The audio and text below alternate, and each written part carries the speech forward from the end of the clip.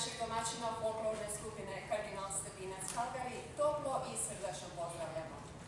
Izuzetno nam je drago što ste ovdje sa nama i što ste dio ove značajne kulturne manifestacije koja je prvenstveno proslava hrvatskog etnološkog i kulturnog nasljeđa iseljenih Hrvata i hrvatske kulturne baštine.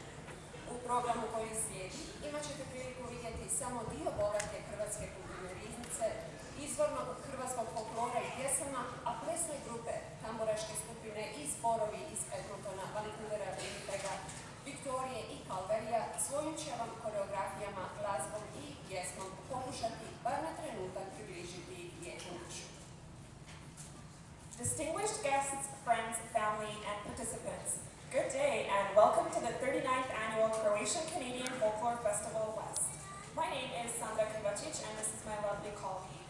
Mirjana Šumera, On behalf we are happy to stand here today as your hosts and to extend a warm welcome to each and every one of you. It is a pleasure to see all your beautiful faces here with us this afternoon, ready to celebrate and be taken on an adventure of song, dance, history, and tradition of Croatian folklore. In this afternoon's program, you'll have the opportunity to see a variety of groups from Edmonton, Vancouver, Winnipeg, Victoria, and Calgary, dancing, singing, and playing instruments that were once played by our Croatian ancestors. Molim vas ustanite da pozdravimo i hrvatsku i iz.